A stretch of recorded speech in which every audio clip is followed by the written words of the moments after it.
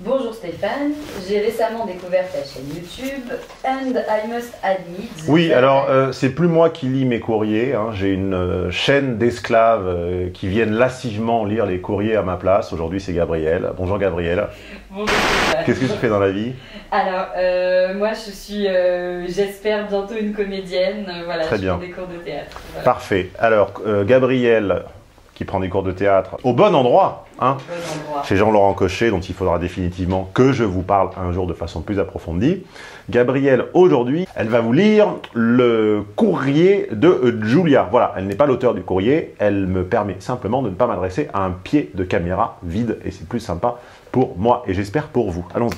J'ai récemment découvert ta chaîne YouTube and I must admit that I binge-watched tes vidéos car tes constats font souvent écho aux conclusions que j'ai moi-même tirées de mon bien que court vécu. On leur traduit euh, I binge watch tes vidéos pour les environ 50% qui vont pas comprendre Donc euh, elle a regardé toutes tes vidéos de manière Voilà. intensive, pourrait-on dire. On la, on la bâche sur le- l'emploi du franglais et la soumission à l'Empire ou on laisse passer? Moi je pense qu'on laisse passer. Tu es pardonné, Julia. Je suis magnanime aujourd'hui. Suite au visionnage de plusieurs de tes vidéos, I came to the conclusion que selon toi, les femmes ont pour but de trouver le partenaire idéal pour assurer un, apport régulier et infini de calories et dont les gènes permettraient d'assurer une progéniture saine et ainsi de perpétuer l'espèce humaine. Oui, alors, euh, Julia, euh, je ne t'en veux pas personnellement, parce que d'abord, je te connais pas. En plus, tu as un joli prénom. Euh, Julia, alors là, en fait, tu vois très très bien. Il y a des tests comme ça qui permettent de voir le niveau de culture des gens. C'est comme euh, quand tu dis euh, j'habite rue Poussin. C'est c'est pas le cas, j'habite pas rue Poussin, mais tu dis j'habite rue Poussin, tu as une personne sur deux qui va te dire, enfin, deux sur trois qui vont te dire comme l'animal et une qui va te dire comme le peintre. Tu vois. Et ben là, c'est pareil. C'est quand tu dis Julia, tu as comme la fille de Sarkozy ou comme la fille de Jules César. Julia, c'est la fille que César a mariée à Pompée. Et Pompée étant cet euh, atout que César avait dans sa manche pour monter le triumvirat. Voilà. Et Ils étaient très amoureux d'ailleurs, c'était un très beau Ils Julia étaient- et Pompée, elle est- c'était ouais. un- et elle est morte jeune d'un- suite à une mauvaise nouvelle où en fait elle a fait une fausse couche et elle, elle a claqué. Elle croyait que son époux décédé à tort en fait. Elle croyait que Pompée euh, n'était pas revenu de je sais pas où, enfin qu'il était euh, décédé. Et donc du coup elle a trépassé jeune et s'en sont suivis les guerres civiles. Voilà. Et il y a une blague avec euh, il n'en fut que Pompée, mais je m'en souviens plus. C'est une phrase de Clémenceau euh, quand, quand Boulanger euh, se suicide parce que sa, sa maîtresse est, est morte. Euh, Il voulut- Clémenceau parle, de, parle de lui. Ah non, c'est pas, non, c'est pas sur. euh, non, c'est Clémenceau qui parle de Félix Faure, qui est notre, euh, le dernier président du XXe siècle. Il, est, il a du, du 19e siècle, il est mort en 1899. Et c'est, on a quand même un président en France qui est décédé des suites d'une fellation. Donc euh, il faut quand même le, le dire. Voilà. Et Clémenceau a dit il voulait être César et il ne fut que Pompée. Voilà. Merci. Oui, parce que c'est des esclaves à moi, certes, mais je les prends quand même à un certain niveau de culture. hein. Je, je ne vais pas les chercher euh, euh, sur Instagram. Euh, Julia, rends-moi un service. N'essaie pas de résumer ma pensée sur les femmes en une phrase. Surtout avec un champ lexical qui n'est pas le mien. hein. le dieu de la calorie, c'est pas moi. Salut à tous, alors c'est Frédéric de la Vie. Alors ce soir, je voulais vous faire une petite vidéo. attention à, la, à, ce faux service que tu rends aux gens de, leur proposer, alors qu'ils ne t'ont rien demandé, de résumer leur pensée en une phrase. C'est un petit peu comme leur planter une épée et dire pardon, ça vous pique, je vais l'enlever et de retirer l'épée du, du corps. Quand je, quand je résume, je dis bien je résume, quand je résume ce que j'ai compris des femmes en 40 ans, je mets 12 heures c'est-à-dire 2 fois 6 heures, c'est-à-dire deux séminaires logique des femmes, logique des femmes 1 et 2, lien ci-dessous, ça met 12 heures. Et en- encore en 12 heures, je n'ai pas fini, je n'ai fait qu'esquisser. Donc quand tu résumes une vie en 12 heures et 12 heures en une phrase de quoi Il y a il y a combien de mots dans sa phrase, Gabriel? 10, 12, 15 En une quinzaine de mots, tu es obligé de me faire rentrer dans des catégories qui ne sont pas les miennes et de m'attribuer des propos qui ne sont pas les miens. J'imagine que ce n'est pas fait avec malveillance, mais dis-toi bien que un ennemi idéologique qui lit ton texte retient quoi? Retient que pour Stéphane Edouard, les femmes seraient, comme tu le dis d'ailleurs dans quelques mots plus tard, des salopes manipulatrices prêtes à... Je n'ai jamais dit ça. Mais simplement, vous, vous voulez résumer à un niveau de synthèse qui est impossible. C'est-à-dire qu'à un moment, il y, a une, il y a structurellement un temps incompressible. Même si tu étais la reine de ta classe de première L euh, en résumé au lycée, eh bien, tu ne peux pas, tu, tu me mets dans la bouche des mots qui ne sont pas les miens et cela me sera préjudiciable. Donc, s'il te plaît, arrête et euh, message également passé aux, aux, aux, autres. Donc elle en a a priori conscience parce qu'elle finit cette phrase par blablabla. En gros, bien sûr, je résume vulgairement. Oui, là, c'est quand elle enlève la lame. Voilà, c'est-à-dire, voilà, j'ai. Voilà, c'est euh, euh, pardon, mais je te fonce dedans. Pardon, mais hop, le sang, le sang coule, mais c'est bon, je l'ai enlevé. On, on, est, on, est, on reste amis. Et more importantly, que ce sont des salopes manipulatrices, avides de fric, pleines de contradictions et dotées de qualités certaines et surtout de défauts tout aussi certains. Alors, je n'ai jamais dit que la femme était pleine de contradictions. D'abord parce que c'est pas un bloc monolithique. Je ne vais pas répéter une énième fois que F, c'est pas toutes les femmes, c'est le plus grand des dominateurs communs, etc. Bref, les femmes ne sont pas pleines de contradictions. Les hommes sont pleins de contradictions. Les femmes sont la contradiction. Je me suis rendue à l'évidence, to a certain extent.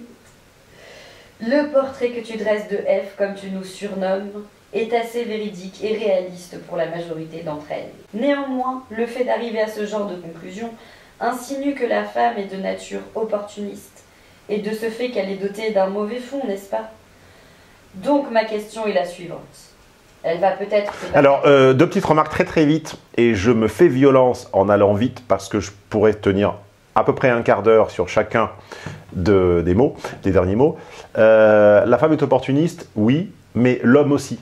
Parce que la relation inopportune n'existe pas, en tout cas ne se prolonge pas dans le temps.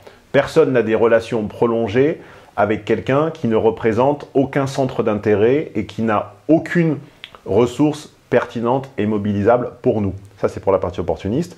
Après opportuniste, il y avait... Et de ce fait qu'elle est dotée d'un mauvais fond. Oui, alors ça, euh, ce jugement moral de mauvais et bon, hein, pour retrouver l'ensemble du vocabulaire sur lequel je suis en train de faire un commentaire composé, vous cliquez sur le lien ci-dessous où vous lirez sur mon site l'intégralité du courrier de Julia. Vous pourrez comme ça reprendre un petit peu le, le vocable. Euh, en fait, c'est toi qui viens d'en décider et je remarque que c'est une récurrence chez vous. Ce sont les femmes elles-mêmes qui reconnaissent qu'elles déprécient leur qualité. Dans mon test homme-femme, vous le test, tu connais ce test, euh, une vulgarisation d'un test plus sérieux rédigé à l'époque pour une émission de télé qui est quand même un parangon de sérieux. Je veux dire, euh, Maria au premier regard, c'est complètement réaliste, c'est complètement scientifique, et moi, ça m'a abasourdi euh, par le, respect, de, encore une fois, de toutes les méthodes expérimentales. Euh, pour ce test mis en ligne, et que vous pouvez d'ailleurs faire gratuitement en, vous rendant à l'adresse Gabriel l-lui.me, test, euh, lien ci-dessous, en fait, euh, j'ai remarqué que les résultats des femmes étaient souvent biaisés vers plus de H qu'elles n'en ont. En fait, vous devinez par votre intuition et par votre appréhension euh, sensible des choses, vous devinez en fait quelle réponse est H et quelle réponse est F, et vous, avez tendance à reconnaître que la réponse H est un peu plus valorisante. Voilà. Donc en fait, euh, quand tu déprécies le fond féminin en disant il est un peu mauvais, je reconnais ce que vous faites au test, c'est-à-dire à finalement à la fois reconnaître que les propriétés qui vous sont accolées sont vraies. Tu viens de dire à la phrase précédente. Je... Euh, oui, je reconnais ton constat. Euh, voilà, le portrait que tu dresses de F, comme tu nous surnommes, est assez véridique et réaliste. Donc tu reconnais. La majorité d'entre elles. Tu reconnais que c'est réaliste sur la majorité des femmes, mais que c'est dépréciant ou dépréciatif par rapport aux hommes et tu le, tu le résumes en mauvais fond. Oui, mais ça, c'est pas moi qui viens de le faire. Je n'ai jamais dit que la femme avait mauvais fond. J'en ai listé les stratégies, les déterminants, les, euh, les, les, euh, les lignes du logiciel. J'en ai craqué le code et tu le déprécies toi-même. Par mon intermédiaire, va faire que sera accolé sera accolé à Stéphane Edouard les mots mauvais fond, les mots euh, euh, intéressé, salope vénale. Mais c'est pas mon vocabulaire, ce n'est pas mes contenus. Je vous, mets au défi de trouver dans mes milliers d'heures de contenu ces phrases. C'est ton interprétation de mes contenus. Et si tu étais honnête jusqu'au bout, tu le reconnaîtrais. C'est toi qui juges que les vertus que j'ai identifiées te semblent, euh, ne te semblent pas prôner euh, forcément toujours le bon, le bien et le beau.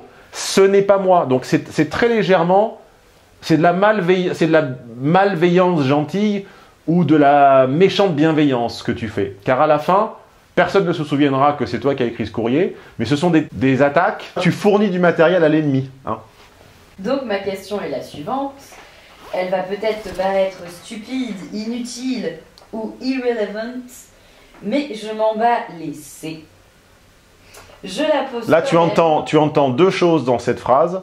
Tu entends femme et enfant. La partie femme, c'est la dépréciation euh, au sens où euh, euh, stupide, non pertinente, etc qui est en réalité une dépréciation. C'est ce que vous faites au contrôle au lycée. Vous savez, quand vous dites Ah, j'ai raté, j'ai ah raté, j'ai raté, que vous avez 15 ou 16. Ou, Les filles qui ratent à l'école sont convaincues d'avoir raté parce qu'elles ne savent pas pourquoi elles donnent la bonne réponse. Hein. faut le savoir, ça, comme dit l'autre. Comme vous avez une plus grande facilité à apprendre scolairement et à mémoriser euh, de façon immédiate et rapide et efficace, vous vous dispensez en général d'aller jusqu'à comprendre le raisonnement qui permet d'arriver à la solution. Nous, comme on mémorise moins bien, on est obligé, au cas où on oublie, d'apprendre le raisonnement de la démonstration, nous faisant arriver à la solution.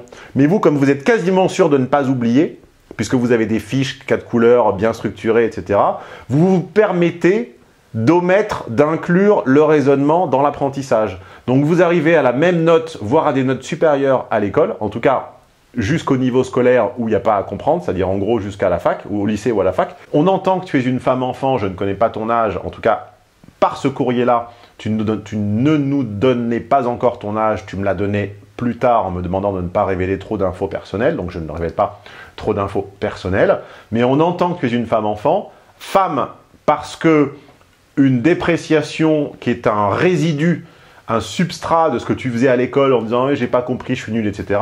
Et enfant par euh, les, mots suivants qui sont Mais je m'en bats les. Voilà. C'est-à-dire, euh, je réduis ah, tout. Bah oui, je m'en bats les couilles. C'est typiquement. Euh, oui, alors voilà la petite remarque rebelle de celui pour qui, ou pour qui, de celle pour qui, évidemment, rien n'a d'importance. Sauf que euh, tu n'aurais jamais passé une demi-heure à me rédiger un, long, long, long message Facebook si ça n'avait pas d'importance, ou tu ne, te, demanderais même pas si ta réponse est méprisable si ça n'avait pas d'importance. Le simple fait que tu te le demandes montre bien que tu crains ma réponse et qu'elle sera importante pour toi. C'est un petit peu comme les gens dont le premier réflexe est de dire est-ce que je suis en train de me faire arnaquer? C'est souvent les plus malhonnêtes. Si tu es vraiment pur et honnête, ton premier réflexe n'est pas de dire on essaie de m'arnaquer, puisque par définition, tu projettes sur l'autre les qualités qui sont les tiennes et tu dis bon, bah, a priori, tous les gens sont comme moi. Ceux qui tout de suite cherchent l'arnaque sont généralement les plus malhonnêtes, car ce sont eux qui ont le réflexe d'arnaquer les autres. Penses-tu que les femmes sincères et authentiques existent? Ou que leurs intérêts envers les hommes proviennent toujours de ce qu'ils peuvent leur apporter matériellement et en pratique? Elle a fini? Non. En d'autres termes, Penses-tu qu'une femme puisse aimer un homme simplement et uniquement pour son essence, sans prendre en compte les atouts superficiels ou économiques, qui finalement ne sont qu'attrayants que lorsqu'on est esclave du système actuel Ou selon toi, sommes-nous toutes des actrices opportunistes et égocentrées? En espérant que tu ne détruises pas le peu d'espoir qu'il me reste quant à l'humanité et l'amour, merci d'avance. Oui, alors je vais rebondir. Alors là, il y a un choix sémantique à faire parce que si je, devais répondre sur chacun des mots, la vidéo durerait deux heures et demie minimum. Alors j'en choisis trois, hein, arbitrairement. Donc nous allons choisir les mots actrice, essence et sincérité. Et je vais essayer de, faire tenir chaque remarque en, une minute, comme ça on fera une vidéo de 20 minutes. Euh, actrice, oui, vous êtes actrice, mais euh, actrice est une des 9 ou 10 composantes de l'arsenal féminin que j'ai décodé dans mon séminaire Typologie de femmes. En réalité, euh, une, euh, une pièce, ce sont des acteurs, un metteur en scène, un auteur et d'autres euh, d'autres rôles en fait. Le, problème n'est pas d'être actrice, le problème c'est d'être que actrice. Le- le problème n'est pas d'avoir une corde à son arc, le problème c'est de n'avoir qu'une corde à son arc. Donc oui, vous êtes actrice, mais pour comprendre si c'est un mal ou un bien, il faut savoir si c'est un jeu de dupes euh, dans lequel tu fais tomber euh, les âmes un petit peu plus crédules ou naïves. Tout ça, je n'en sais rien. Moi, le, le phénomène actrice, je l'ai décodé encore une fois dans ce séminaire, aux côtés d'autres. Je n'ai jamais dit, tu vois, c'est encore une réduction à une, à un mot ou à une catégorie. Je n'ai jamais dit les femmes sont des actrices. J'ai dit une façon de comprendre l'éventail des stratégies féminines, c'est de repérer les doses ou les tendances, les lignes de pente correspondant encore une fois à tel, tel, tel, tel, tel schéma. Mais il y en a 9 ou 10, il n'y a pas qu'actrice.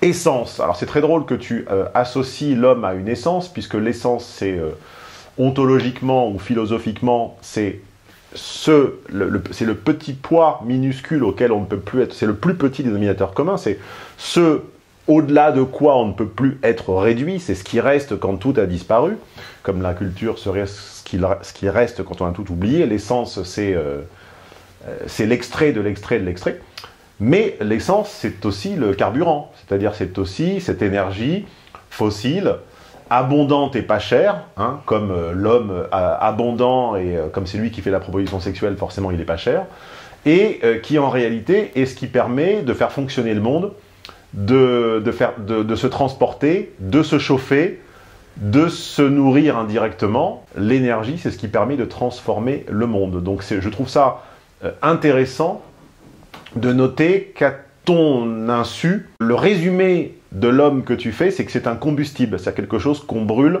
pour se chauffer et pour transformer le monde autour de soi. Voilà, ça vous ne l'aviez peut-être pas remarqué. Essence, carburant, machin. Sincérité. Sincérité, oui, alors la sincérité, c'est un, c'est un qualificatif euh, qui coûte pas cher. hein, euh, C'est une vertu en général auto-décrétée. hein, tout le monde s'estime sincère, tout le monde.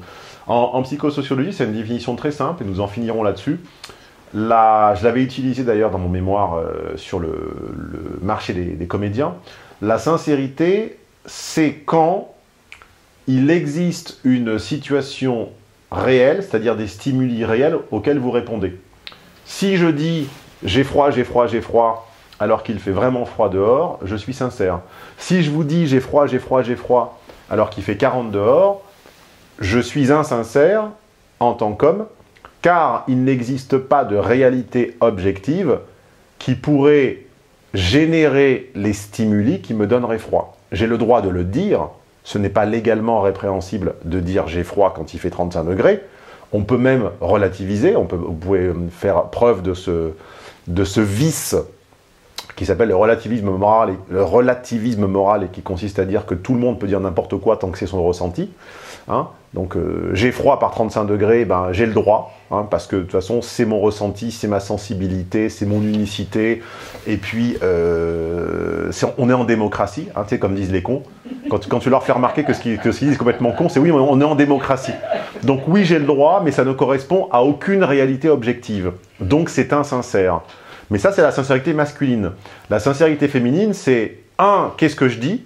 C'est-à-dire, qu'est-ce qui, me, paraît plus utile, plus juste, plus incluant et plus pertinent de dire? Et ensuite, dans un deuxième temps, je me demande quelle réalité a bien pu se passer pour générer les stimuli qui aujourd'hui justifient ce que je suis en train de dire. Voilà. Euh, ceci n'est pas sans rapport avec euh, les différentes euh, accusations ex post qui émaillent aujourd'hui l'intégralité de la presse euh, où euh, des faits euh, invérifiables et sans aucun témoin se seraient produits évidemment il y a des décennies qui aujourd'hui euh, seraient à l'origine de leur mal-être, du fait qu'elles sont enfermées chez le psy et qu'elles ne peuvent s'accomplir. Voilà pour la sincérité. Et voilà pour ma réponse, Julia, partielle certes, mais Gabriel, on a fait au mieux avec ce qu'on avait. Voilà. Alors, souvenez-vous que nous approchons du 6 avril. Le 6 avril n'est pas seulement la date euh, précédente, le jour précédent la date de mon anniversaire, c'est également le jour de ma conférence, première conférence de l'année. Ça se passera à Bordeaux. Ça s'appellera Les Nouveaux Barbares. Euh, je vais euh, jouer la carte de la frustration en ne vous en listant pas le plan ou les principales idées. Mais je n'ai qu'une chose à vous dire. En sortant de cette heure et demie de conférence, vous allez entendre plusieurs idées, évidemment, mais une de celles-ci, un de ces concepts, un de ces mots, vous allez le remarquer partout. Moi, c'est ce que j'aime en lisant un bon bouquin, ou c'est ce que j'aime en, participant à un contenu intéressant, en écoutant un orateur, c'est quand il me permet de reconnaître et de décoder qu'il y avait un truc partout autour de moi. J'en mangeais presque du soir au matin, ça tapissait mes murs mentaux, et je n'en avais jamais compris la raison. Donc je vais vous donner, je vais vous expliquer une, moins qu'une phrase, une expression, c'est-à-dire un mot et quelques, qui vous entoure, que vous ne remarquez pas nulle part, et en sortant de cette heure et demie, vous allez le voir des dizaines et des dizaines et des dizaines de fois placardé au mur, sur ce que vous lisez, sur vos pages internet, sur vos... partout. Voilà, vous allez en être inondé, vous l'êtes déjà, vous ne le savez pas, et je vais vous expliquer ce, qui est en train de se jouer, quelle révolution sémantique est en train de se jouer avec ce mot-là. Ce n'est pas le mot barbare, c'est un autre. Je vous laisserai découvrir lequel. Et encore une fois, euh, je vous promets une sacrée expérience. Oula, je suis en train de casser ma platine. Je vous promets une sacrée expérience à la sortie de cette, à la sortie de cette conférence. Le courrier de Julia m'est parvenu via Facebook. Ce n'est pas la seule façon de m'écrire. Vous pouvez m'écrire, me contacter sur le réseau social ou asocial de votre choix. Lien vers Facebook, vers Instagram, vers Twitter et, c'est tout ci-dessous. Mais créons, si vous voulez bien, les chatons. Je vous l'avais proposé il y a quelques années. Et puis bon, la chaîne était encore un peu moribonde. Euh, ça n'avait pas pris créons désormais un hashtag. Hein. Zemmour et Nolo, ils ont ZenPP. Bon, nous, on va créer quelque chose, hein, dièse quelque chose, qui me permettra de rassembler une fois par semaine l'ensemble des messages à mon, à mon attention. Donc, euh, qu'est-ce qu'on pourrait créer, euh, Gabriel? Hashtag. Euh, ouais, bon. Proposez en commentaire un ou plusieurs dièses, hashtag, permettant que notre communauté désormais, puisque c'est comme ça qu'il convient de l'appeler, euh, se retrouvent et s'identifient, se reconnaissent sur l'ensemble des réseaux. Je suis tout oui. Je, hein, on sélectionnera. Si vous, si vous débrouillez vite, si vous le faites vite, Gabriel sera encore là et puis sa petite main, sa petite mimine blanche choisira le plus mignon, le plus joli, le plus pertinent, le plus cinglant de vos hashtags.